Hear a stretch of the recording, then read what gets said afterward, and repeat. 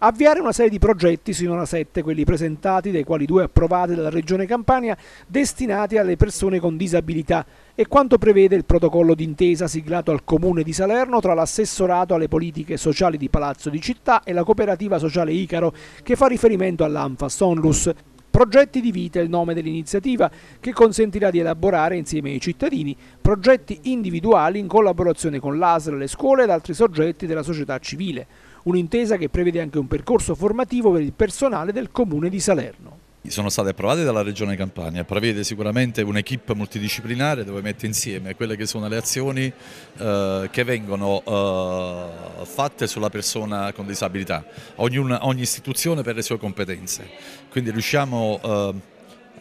adesso finalmente a mettere in campo eh, delle azioni specifiche perché riguardano una legge che è la 328 eh, prevista già da qualche anno, finalmente riusciamo a partire perché è stato stanziato un fondo iniziale da parte della Regione Campania eh, che ci permetterà sicuramente di iniziare a dare delle risposte a quelle che sono le esigenze delle famiglie delle persone con disabilità e del disabile stesso. È stata l'occasione anche per fare il punto sulla copertura finanziaria per le attività di assistenza da parte della Regione Campania, con Parisi che si è detto ottimista. Ci possiamo dire che siamo un attimino più sereni perché ho incontrato il direttore generale, dottor, eh, niente, dottor Iervolino, che si, si è fatto carico veramente nei confronti della Regione nel far capire c'era un problema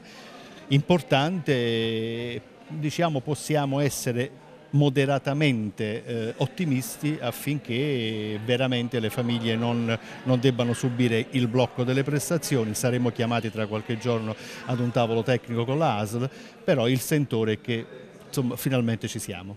problema è sempre lo stesso, noi ci auguriamo che dall'anno prossimo veramente ci sia uno studio accurato del fabbisogno e, e, e non si arrivi ogni anno ad una sofferenza insomma, per le famiglie, per le persone con disabilità che vedono magari interrotte le prestazioni a metà anno, quindi insomma, credo, che, credo che siamo sulla buona strada, probabilmente abbiamo imparato tutti la lezione, quindi da gennaio ci metteremo tutti insieme con la Regione a, diciamo, a lavorare su questo.